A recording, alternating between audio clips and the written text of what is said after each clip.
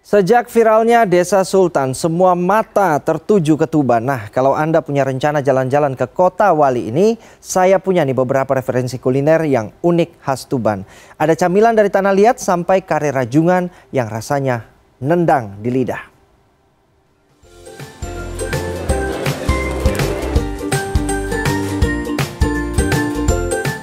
Berada di pesisir utara Pulau Jawa, Kabupaten Tuban punya potensi hasil laut melimpah. Jadi bukan hanya diminati oleh perusahaan tambang untuk membangun kilang minyak ya, tapi juga jadi surga pecinta seafood. Coba lihat menu kuliner andalan Tuban ini, kare rajungan atau juga dikenal dengan sebutan rajungan balsem. iya, rasa pedasnya memang diidentikan dengan balsam yang diolehkan ke tubuh kita saat sedang pegal atau nyeri otot.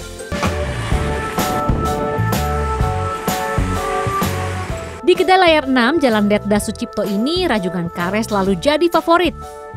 Rajungan utuh beserta telur dan cakangnya dimasak dengan santan dan beragam bumbu halus, lalu taburkan daun bawang dan bawang putih. Nah, kare rajungan dimasak sesaat setelah dipesan. Jadinya saat disantap masih hangat dan kesegarannya sangat terasa.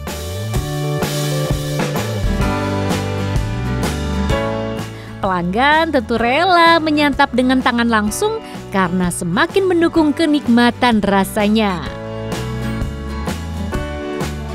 Ya, ada asinnya, ada gurihnya. Pokoknya nendang di lidahnya apa orang Indonesia.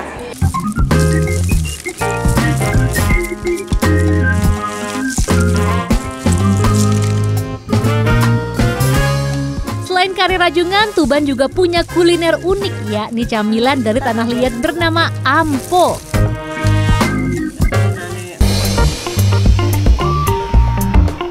Iya, Anda nggak salah dengar, jajanan yang sudah mulai langka ini memang dibuat dari tanah liat asli.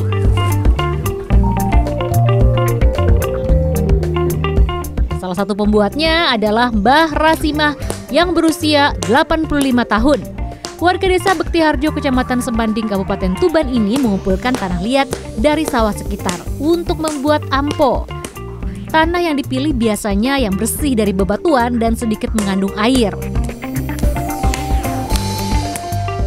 Tanah dipadatkan seperti ini, setelah itu gumpalannya dikikis menggunakan sebatang bambu tajam sehingga menghasilkan gulungan-gulungan tipis.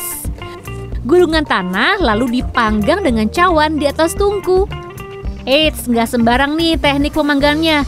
Tungku nggak boleh mengeluarkan api karena yang dibutuhkan hanya asap panasnya saja. Setelah 20 menit, camilan ampo ini siap disantap. Bagi yang tak terbiasa mungkin akan terasa aneh menyantap tanah, tapi bagi para penikmat ampo di Tuban banyak yang menyukai rasa sekaligus berharap khasiat kesehatan. Uh, ya biasa seperti tanah, cuma ada apa ya panggang-panggangnya gitu loh ya karena kan dipanggang gitu.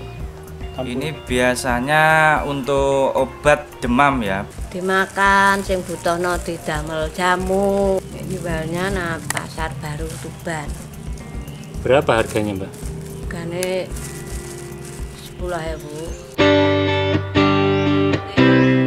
Kini camilan ampuh dilaporkan terancam punah Barasima sendiri sudah berupaya menurunkan resep ampo yang ia miliki dari orang tua kepada anak perempuannya. Dion Fajar Arianto, Tuban, Jawa Timur.